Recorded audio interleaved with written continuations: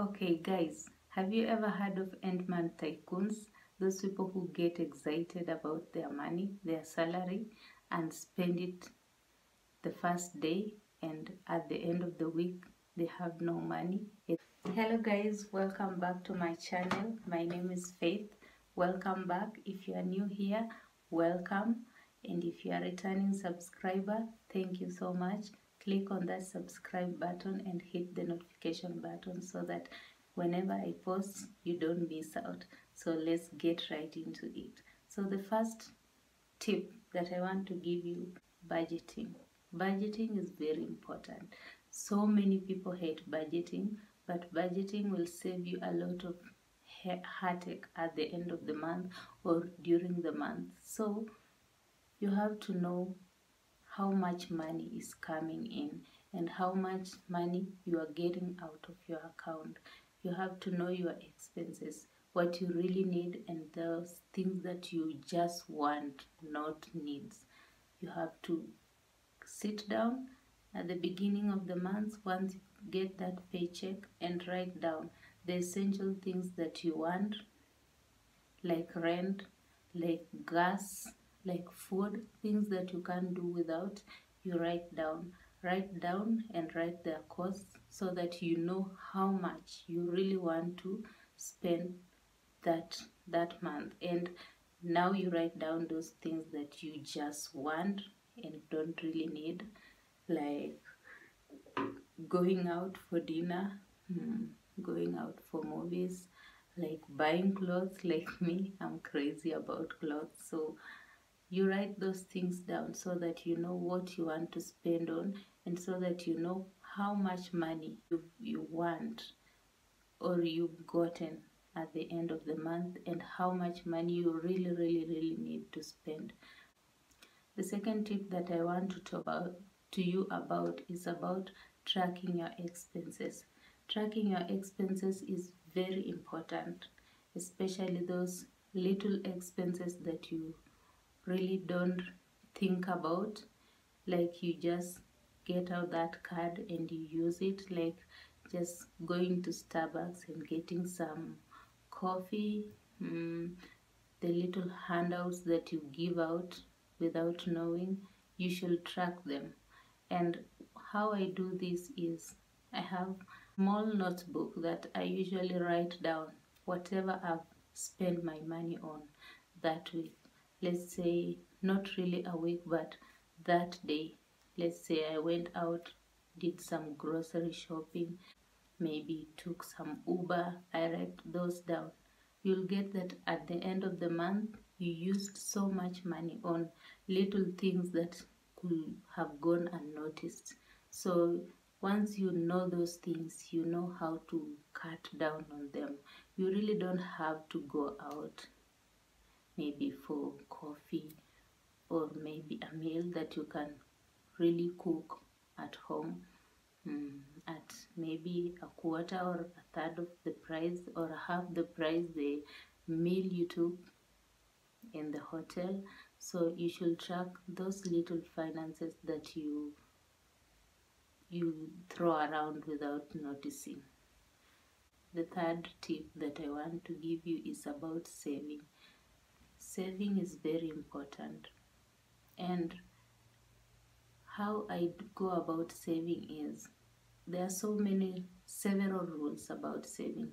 There are those people who save the 70 30 rule or the 30 70 rule however you want to call it or there are those who do the 10 90 percent rule. I advise you to get maybe a 10 90 rule so that you save 10% of what you get on the month and you maybe spend 90% or you can save 30% of what you get per month and you spend 70% of it.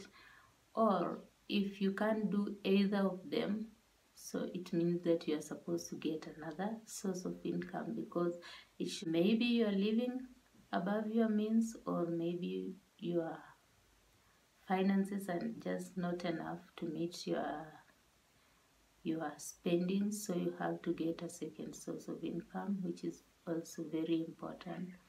So what i can encourage you is you save at least something at the end of the month. And what i do what i normally do is i usually save on those accounts that it will really task you to get that money once you need it so that you just don't think of that money and you just go get it. And also what you can do is you can use the those systems that save for you automatically. That is when the money hits your account they automatically deduct that money. It, it will be maybe 10% or maybe 30% of your income or whatever the percentage you are saving. It doesn't matter as long as you are saving so that it goes directly to your saving account. That usually really helps. So so saving is much important and it will give you that sense of relief knowing that you have something on the side at the end of the day or at the end of the month yeah the fourth tip that i want to give you is about investing okay i've talked about saving saving is good but mm, I know saving cannot make you rich. So you have to invest that money. Save and at some point you'll invest that money when the opportunity comes. So you have to invest your money, invest in something, something that will grow your money. You might save, save, save, save. At the end of the time, maybe after after five years, whatever you've saved, maybe the the value has re re reduced so it's good to invest in whatever you are saving for mm, be it in real estate there are so many things you can invest in just to grow your money. Investing is very very important. You can also invest in yourself. Fifth tip that i want to give you is live within your means. And I've done these mistakes so many times. Guys, when I tell you that there are some days that I just go buy things that don't really matter, that things that I look at at the end of the day and wonder really why did I buy this thing. So you should just live within your means. It is very important. Don't go pleasing people, buying things because you saw someone with something and you also want it or maybe you are competing with someone or maybe you've seen the latest mode of iphone and you just like how to get it. Please live within your means. If that phone of yours is still working is still serving your purpose just stay with it and save that coin seeds or whoever you are save that coin. It is not it doesn't really add value to your to your life to go break your bank go crash your account and it feels so nice if you live within your means and there is something in your account it is the most satisfying feeling so just live within your means it's very important if you want to save your finances and if you want to have a healthy relationship with money. The sixth tip that I want to give you is stop pleasing people. There are so many distractions right now in the world. There is so many flashy things, flashy cars, flashy clothes, whatever. There's so many distractions and you'll see things and you're like, oh, I just want that.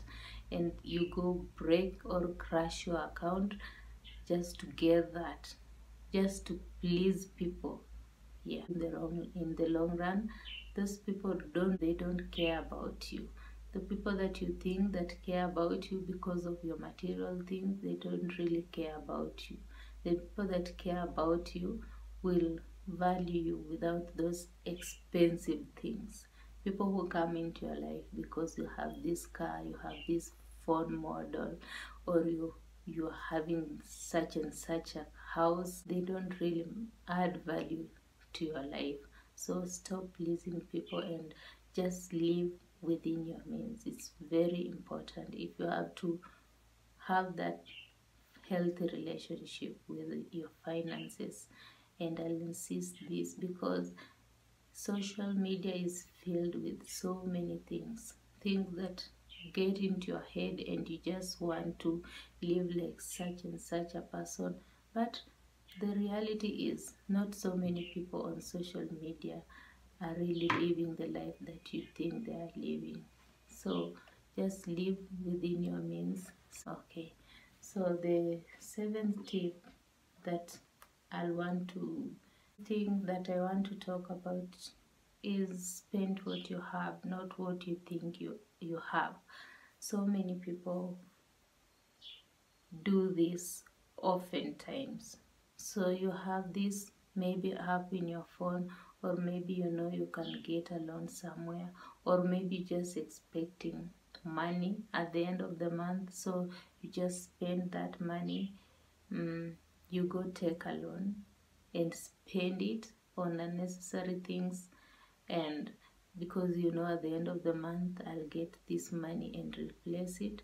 That's how you dig yourself into a life of debts. So just spend what you have not what you really think in your head that this money is gonna get into my account when it has not really gotten into it. So just spend what you have. Just it also goes back to living within your means. Yeah. Then the eighth tip that pay up your debts. Guys debts are like slavery. They are like the modern day slavery. So if you have that debt just pay it. Pay it up. Sacrifice mm, cut down things so that you can pay it up. Mm. don't take more loans. Don't take more debts to pay that debt because the more you take debt the more you get dig yourself into that hole that you'll be so hard to get out of it. So if you if you have a debt it's very very important that you pay it up. At the end of the day after you pay that debt is how you'll get you'll be getting out the financial turmoil that you've gotten yourself into. Yeah. Then the ninth thing the ninth tip that i want to give you is to start a side hustle. Side hustles are very important. What i've learned over the years i've been working for maybe seven years ever since I finished college. And what I know is that that employer's salary will not really make you rich. It will not make you financially stable. It will not make you live the life that you want to. So the good thing that you can do is just start a side hustle. It's important. Whatever you can do to bring in more income, extra income, just work towards extra coin that will help you in the long run and just relieve you all those of those maybe debts that you have. Yeah. And give you that freedom that that satisfaction that at least you're doing something on the side that's also bringing you money. It also give you a sense of stability. Because if you just rely on you are liable to so many things every time you are just so worried that maybe if this job goes away what will happen? So the 10th thing that i want to talk about is be smart be disciplined with your finances. Yeah. By that i mean that you just don't spend it is just like a summary of everything that i've been talking about. Just don't spend things spend money because you've seen someone with something or there is something the latest something in the market. You just go throw your coins. Be conscious about your your spending and be smart with your finances. It's very important. Okay those are the tips that i had for you for today. Thank you so much for watching. And if you have some some other tips that you may want to add please write it in the comment. I'd like to know. Thank you so much for